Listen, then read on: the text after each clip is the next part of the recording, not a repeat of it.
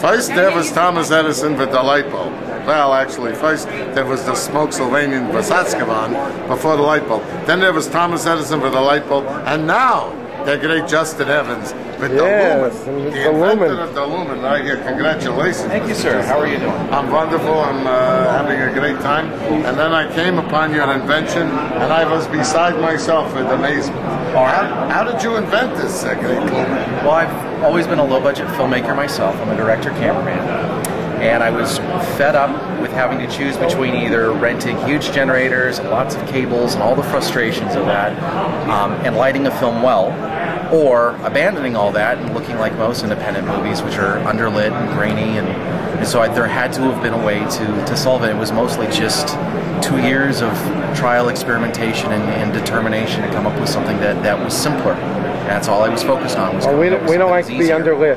That's for sure. Absolutely. We're always lit.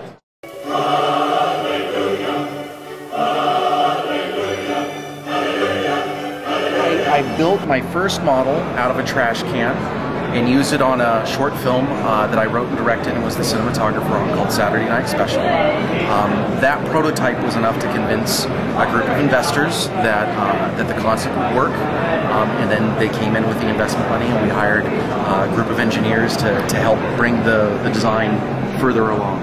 And what happens if you keep looking into the lumen? Will it actually hurt your You will eyes like an eventually die. incandescent? If you look no, into no, the no, lumen, it doesn't do anything. All, all it does is, you know, blow out your irises for a few seconds like any other light. Like Nice. staring at the sun when you're on LSD. and what's the secret of keeping it cool, nice and cool? That we're just lucky that, that that compact fluorescent bulb manufacturers have made bulbs this big. That's what we're just taking the advantage of compact fluorescence and incredibly silent computer fans that we use on the back. We use the most expensive fans on the market. Oh, look at these fans. The fans have been running the whole time, but you can't hear them. So it's these two fans here. Nice quiet fans. They look like computer fans. Yep. And Everyone these needs fans their so fans. quiet that you can actually shoot sync sound with the fans on.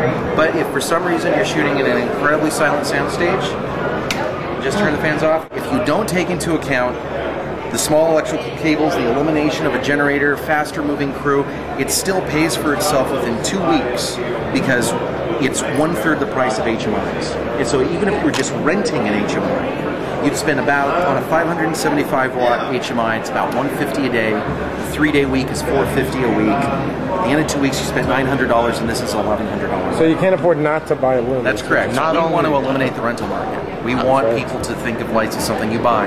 And because you can stack them on top of each other, it doesn't take up any space. It's 16 inches in your garage. Absolutely fantastic. The lumen, ladies and gentlemen. You could get one of these, a couple of these, three, make a movie like uh, Cecil B. DeMille's masterpieces. Maybe we put some lumens up in here. I wouldn't mind.